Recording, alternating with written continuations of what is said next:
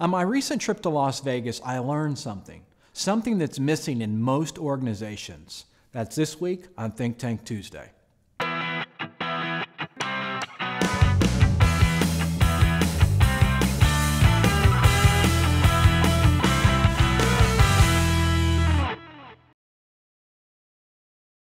Hi, this is Paul Potratz, and welcome to this week's Think Tank Tuesday. So recently I was in Las Vegas. I know one of my never not in Las Vegas, but anyway, and no, not that I gamble. I don't have the Jerry Tebow, hey, I'm winning all kinds of money type, I guess, gift. But anyway, so I decided to go watch a show, and I went to go see the Cirque du Soleil. Boy, did I say that right? But anyway, you get my point.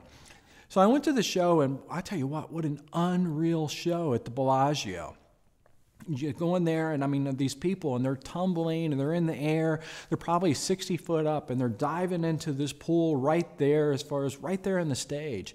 I mean if you have not seen as far as the o cirque du soleil you definitely need to go see this show. But i'm sitting there and i'm watching this show and i'm like wow this is really like really this is like death defying people could die here. And but there was one thing that was just absolutely amazing and what it was, as far as there was the one girl, and she was up on the little trapeze, not little, but way up there, and she's tumbling, tumbling, tumbling, tumbling, tumbling, just moving really fast. And then all of a sudden, she just comes off. And as she was tumbling, though, there's all of these people that are in this show.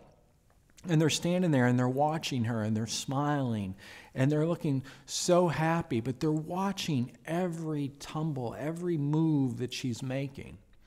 And it just kind of clicked with me. It just kind of dawned on me. Are they really having that much fun? I, I truly think they are. But what are they really doing?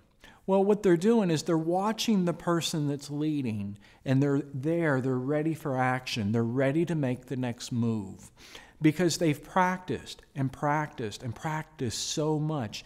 They know exactly when she's going to let go, where she's going to tumble, and where they actually need to catch her. Keep in mind now, during the show, there's no safety ropes and no nets or anything else. Because if there was, as far as the individual that was not in the right spot at the right time, somebody would die. And I really mean that. Somebody would actually die. And I hate to say that it was recent that somebody actually did pass in one of their shows. And you kind of wonder why. Well, the person wasn't in the right place at the right time. The person wasn't actually in tune. They weren't watching. They weren't into it. They were thinking about what was actually maybe what went on, you know, the morning of with their family, with their bills, or something like that. They weren't really paying attention. That's what happens. And that's what happens in a lot of businesses. So you kind of think about in your own business, what are you doing to make sure that your managers are in tune, your salespeople are in tune, your internet department is actually in tune, that everybody knows? So when you're building a company, what you actually have to do, and it's a struggle, is to understand exactly what is the protocol, what should happen. You need to be training your people. Your internet team needs to know exactly as far as what is their response time supposed to be? What will they be measured on? What is the result? So if you're an internet manager, your goal should be five minutes or less to answer that internet lead. You should know exactly how long should you continue that process on. When should that internet lead pass to a manager for a follow-up phone call? And I mean, and this is just not for your internet department. This is for every part of your, your business. Every part of your business. As a business owner, you need to know exactly what are you responsible for and what are you going to be measured by. Your sales managers, everybody. So as I was watching the show and I was watching all the tumbling, it was clear that these individuals were very passionate. They knew exactly what they needed to be doing and they practiced. So there's another question.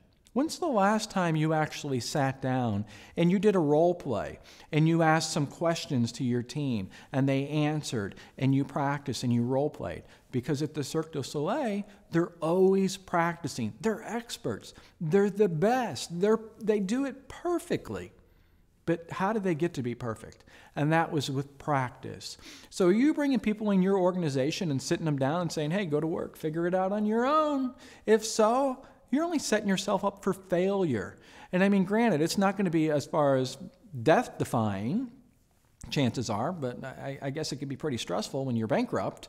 But what is the process? What is the training? And does everybody know where they need to be and what they need to do at that specific moment, just like when I watched the O?